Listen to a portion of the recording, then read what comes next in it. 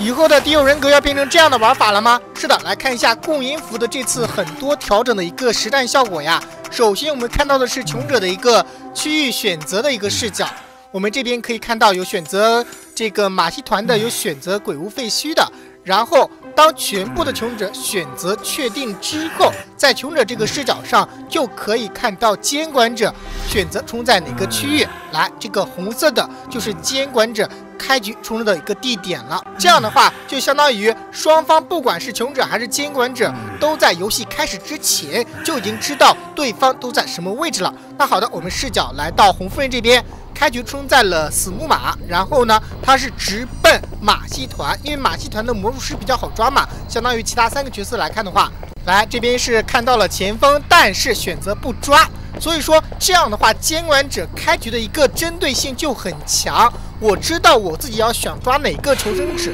会打一个相对应的针对。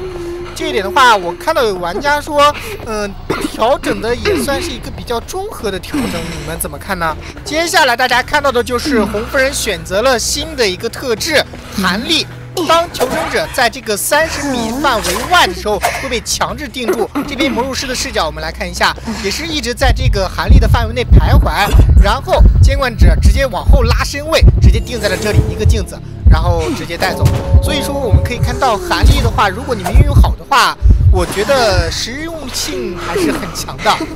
这边游戏大概来到了一分四十秒左右，前锋选择直接撞救，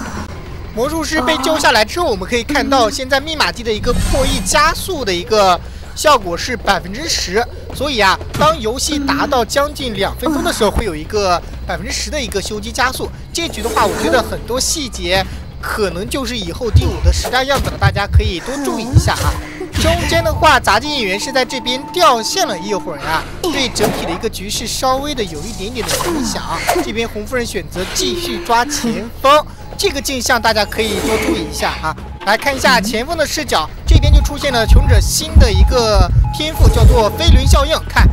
镜像拉过来的时候，直接一个俯冲人，然后也是拉开了一个身位。因为这个飞轮效应的话，有一个零点五秒左右的免疫伤害，大家以后实战中也是可以多注意一下。冷却时间是一百秒。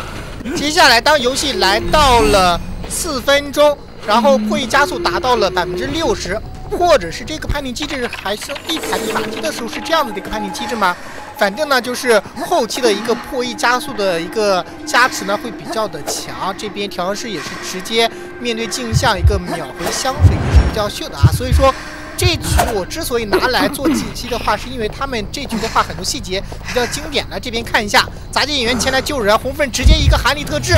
看一下，直接让前锋过半。这点的细节真的是很细很细了，大家以后实战中的话也可以学习一下。我觉得这局还是比较经典的，然后以后第五的话，可能大概率的玩法，我估计可能就这样子了。这边杂技演员一个飞轮效应想帮前锋扛刀，但是镜像这边还是没有扛到。因为中间掉线了一会儿啊，导致这场机子的一个节奏稍微的差一点点。所以说这样整体来看的话，如果正常情况下的话，平局应该是问题不大的。